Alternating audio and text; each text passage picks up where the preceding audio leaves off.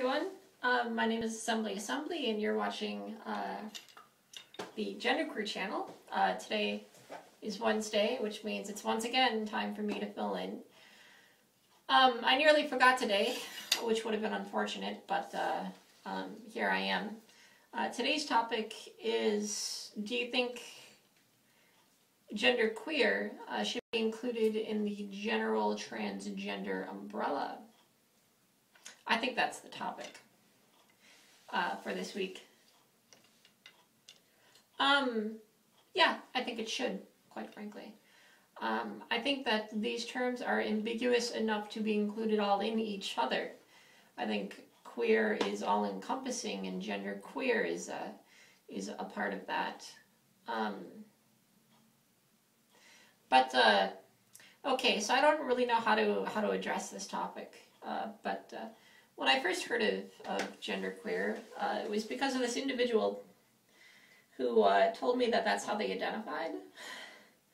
I've never heard this term before, really at all. I've heard of queer and uh, and all these things, and uh, lesbian and, and transgender and, and, and all these terms, but never have I heard of never have I heard of uh, gender queer, and I haven't heard of androgynous either. My only experience of androgynous uh, even though I am fairly androgynous, my only experience of androgynous was Pat from SNL.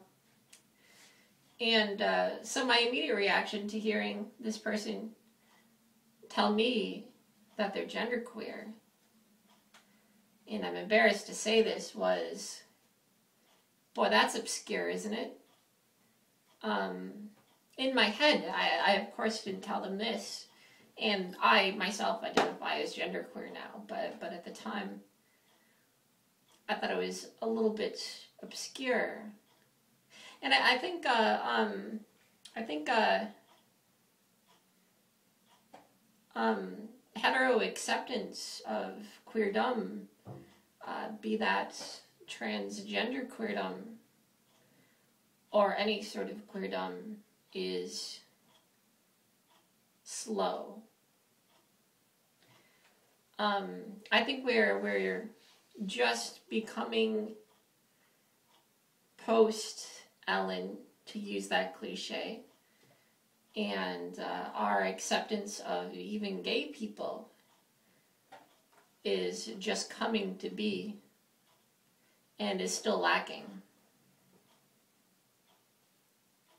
And I think it used to be that uh, that uh, gay people and butch and all these things and sissy boys and and everything challenged gender um, in the the public's mind, and I I think challenging of gender has been assigned to in the public's mind uh, transgender people or transsexual people I don't think the public has heard of gender queer. Um, so, I think it belongs in transgender. I think anyone who makes themselves aware of gender, be it to perform another one or just understand it, um, I would consider them transgender. Just for the fact that they're they're transgender, they're transcending gender in in some way, and I think uh, gender queer people have to um, challenge gender because for me that's that's that's who I am um, very deeply. Um, and in that sense, I'm gender queer and transgender. I think the, the, the two experiences have a lot more overlap than people believe. And I believe in the, the public mind, the uh, gay experience, which is what's in the public mind, has a lot more overlap with the transgender and the gender queer experience than we're made aware of. And uh, yeah, so I'm, I'm proud to be part of the transgender umbrella in that I will be continually challenging gender and the social what's challenging gender now in the public mind is transgender it's less gay it's more transgender so in that sense yes i think gender queer should be considered transgender. but uh, so that's that's this topic. I want to address the topic that I missed a couple of Wednesdays ago, which was um, which kind of I think um, is is interrelated a little bit, uh, which is um, which is I believe it was uh, genderqueer and birth sex.